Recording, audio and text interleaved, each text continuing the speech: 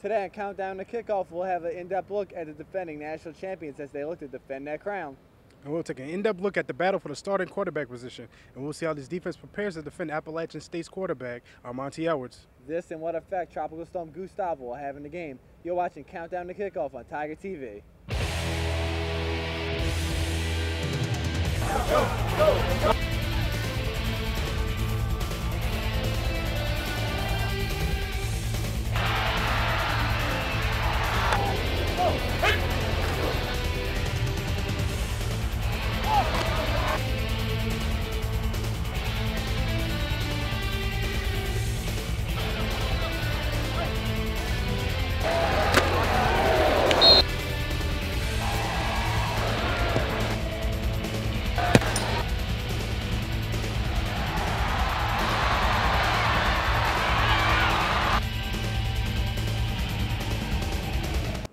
Hello and welcome to Countdown to Kickoff. I'm your man Jason Temple, joined by my college football analyst Jeff Crowden. What's going on, Jeff? Nothing much, man. Just glad to be here, ready for some college football. How you doing, man? I'm ready for kickoff too. But kickoff has been moved to a 10 a.m. start instead of the 4 p.m. start thanks to the Tropical Storm Gustav. The game will still be carried by ESPN, however, on their sister station, ESPN Classic, and online at ESPN 360. We got a reaction from students on the time change.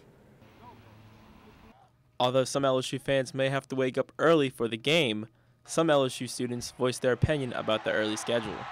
Um, looks like I'm gonna have to wake up a little earlier than I expected, but I'm still gonna be there. So. Well, since it's the pajama game, I guess I can just roll out of bed and walk in. it's me just got to get up a little earlier. I mean, I don't really want to do that, but I mean, four o'clock wasn't really a good time anyway. Be right in the middle of the day, and uh, I can get back and watch the uh, Alabama Clemson game. So I heard a few things about it, but it's not going to bother me. I'm still going to be there no matter what. Are you gonna be tailgating? Of course, I'll be tailgating. What time do you think you'll be up?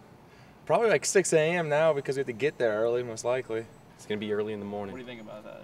I mean, some people get nervous when they hear about a little wind coming through, so